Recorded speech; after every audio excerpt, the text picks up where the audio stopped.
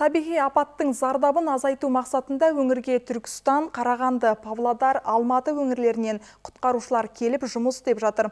8 сәуір Астанадан қарулы күштердің 68-665 әскери бөлімінің 312 сарбазы келді. Тілші толықтырсын.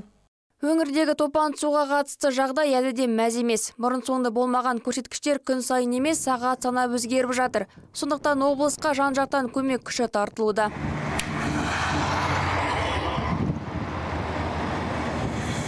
Кеше түнде осындай ұзына созылған көліктермен бас қаладан қарулы күштердің 68-665 әскери бөлімінің 312 сарбазы келді. Жігіттер Бескөл ауылына келіп тұрақтады.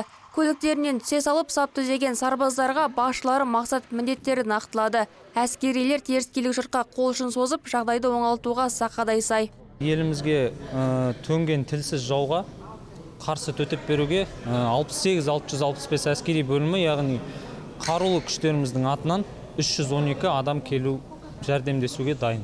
Техника 13 техника келді. Қандай? КАМАЗ и бір пазик келді, автобус. Нақты Сергеевка ә, ауданында жұмыс жасаймыз. Сергеевка ауылында ә, сол жақта ә, өзіміздің қолымыздан келгенше бүкіл ә, жәрдемді көрсетуге дайынбыз.